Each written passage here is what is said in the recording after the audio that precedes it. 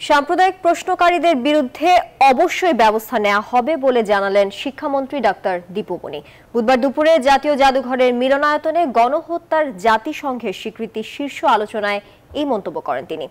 জানান, জাতিসংঘের কাছ থেকে উনিশশো একাত্তর সালের গণহত্যা স্বীকৃতি পেতে কাজ করছে সরকার। এই স্বীকৃতি পেলে এই কাজ আরও ত্বরান্বিত হবে বলে জানান শিক্ষামন্ত্রী নাইম আল জিকোর প্রতিবেদনে বিস্তারিত। ভারতের বিশেষ সাংবাদিক।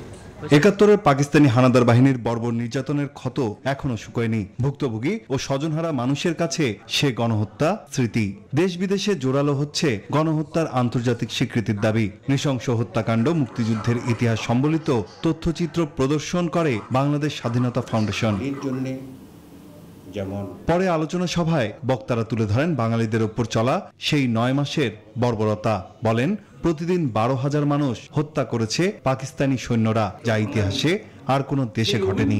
হাত ছিল না অত্যাচারের সর্বশ্রেষ্ঠ দেখাতে শেষটুক পর্যন্ত তারা করে সেখানে ফেরত দিয়েছিল। বারো হাজার মানুষকে প্রতিদিনে গড়ে হত্যা করা হয়েছে।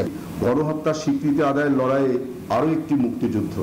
শিক্ষামন্ত্রী বলেন, বেশ কয়েক বছর আগে একটি দেশকে গণহত্যার স্বীকৃতি দিয়েছে জাতিসংঘ।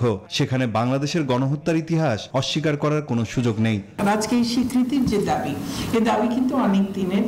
আমি নিজে জানি যে আমাদের পররাষ্ট্র মন্ত্রণালয় এই কাজগুলো দীর্ঘদিন থেকে করছে। শিক্ষামন্ত্রী বলেন পাকিস্তান চলে গেলেও সাম্প্রদায়িকতার বিষবাষ্প রেখে গেছে। এ সময় এইচএসসিতে প্রশ্নপত্রে সাম্প্রদায়িক প্রশ্নকারীদের বিরুদ্ধে অবশ্যই ব্যবস্থা নেওয়া হবে বলেও জানান শিক্ষামন্ত্রী। অবহেলাও যদি থাকে কিংবা আহ, যদি ইচ্ছাকৃত হয় দুটির কোনোটিই কিন্তু আহ, ছেড়ে দেবার কোনো সুযোগ নেই।